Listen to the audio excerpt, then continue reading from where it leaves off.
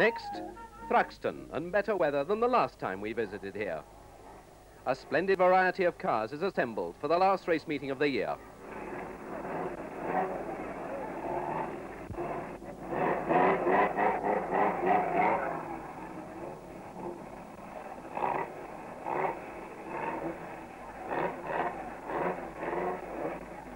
First on the agenda is the Sparrow Trophy race, with a happy reappearance of Dennis Jenkinson at the wheel.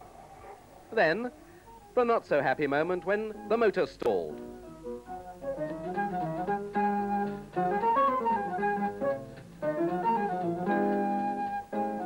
But Jenks is away finally.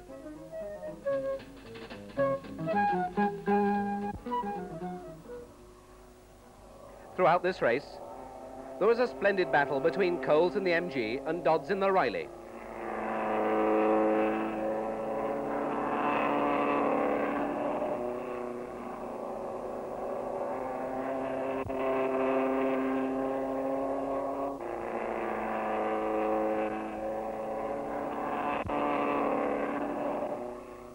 First Dodds led, then the MG was in front.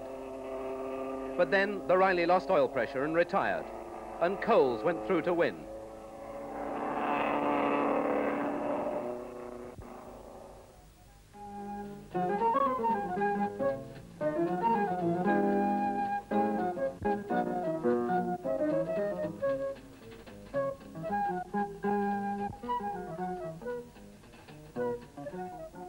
Back to the pits for race three and on to race five.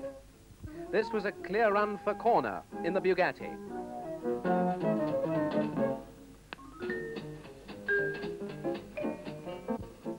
But out at Campbell's corner, Morley gets things wrong with his Bentley and has to drive at 10 tenths for the rest of the race to keep up. But watch him lose it first.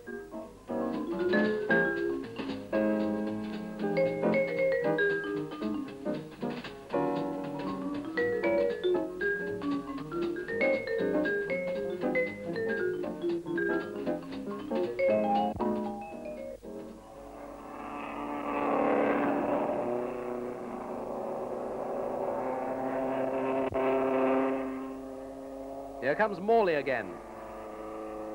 All over the place in his struggle to get back. And yet again, each time at the chicane, it looked more horrible. Tony Rippon has his problems out in the country, but he's soon back in play, but out of the running.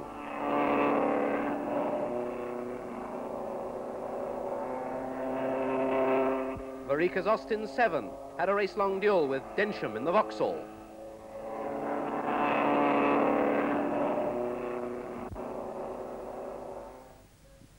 Corner goes through to win. And Varika slips past the Vauxhall on the last lap into the chicane.